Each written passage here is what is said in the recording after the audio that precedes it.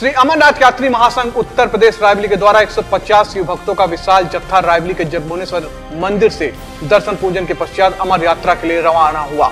श्री अमरनाथ यात्री महासंघ मंडल अध्यक्ष राजेंद्र अवस्थी ने बताया कि 150 से अधिक भक्तों का जत्था रायबली से बाबा भोलेनाथ के दर्शन के पश्चात लखनऊ के लिए रवाना हो गए। जहाँ से हिमगिरी ट्रेन के द्वारा जम्मू पहुंचेगा। इसी क्रम में अमरनाथ यात्री महासंघ के अध्यक्ष जगदीश चनानी ने बताया कि मंडल का पहला जत्था 150 शिव भक्तों का जो कि रायबली के विभिन्न क्षेत्रों, लालगंज हरचनपुर अमावा बशरामा के शिव भक्त जत्थे में शामिल हुए।